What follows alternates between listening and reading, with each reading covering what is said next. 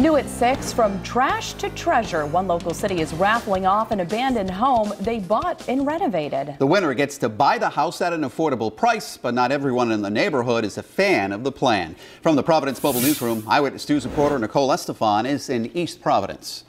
We asked city representatives a lot of questions. Will they even make any money off of this? Are neighbors okay with it? And why they decided to do it.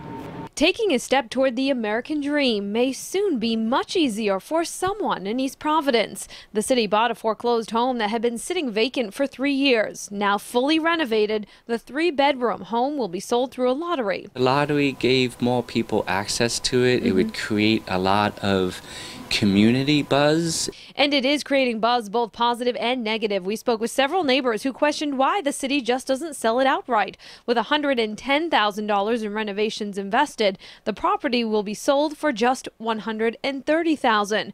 We wanted to know if it's too good of a deal. In a sense, it's not. It's taken a property that was let and gone for circumstances out of everyone's control. Vacant homes can become problem homes. Some we spoke with are just happy an eyesore has been taken care of. I didn't want to see this property sit vacant. Its roof was leaking.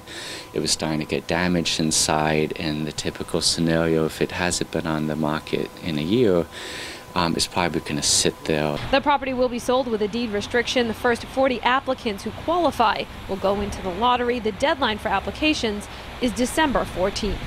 We're told that lottery drawing will be held on December 18th during a city council meeting. In East Providence with the Mobile Newsroom, Nicole Estefan, Eyewitness News. For more information on qualifications, rules, and how to apply to participate in this affordable home lottery, go to our website, WPRI.com.